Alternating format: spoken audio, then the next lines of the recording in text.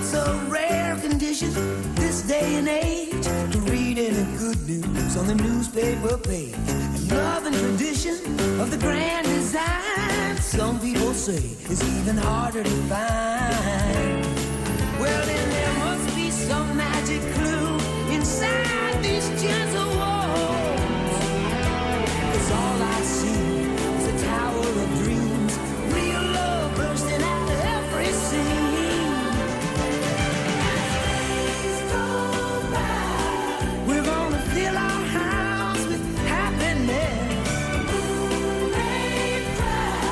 But we'll smother the blues with tenderness.